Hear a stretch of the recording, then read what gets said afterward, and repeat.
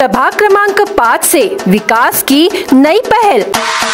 अनुसूचित जमाती की महिला उम्मीदवार आशा अमित दलाल। मानव एकता संस्था तिरोडी के तत्वावधान में फुटबॉल प्रतियोगिता का आयोजन जीतू अहिर द्वारा कराया गया, जिसमें मुख्य अतिथि के रूप में महिला सरपंच फौजिया खान, उप सरपंच चुनीलाल कुलदीप, प्रीतम सिंह वर्दे, आनंद ब्रह्मैया, गुडविन गुड्डू भाई अजय ब्राह्मैया, कवि दिनेश देहाती, थाना प्रभारी चैन सिंह उइके, तिरोडी मॉइल के प्रमोद जामटे, मिहिर त्रिवेदी, पूजा त्रिवेदी, किशोर टेमुलकर मंच पर उपस्थित रहे।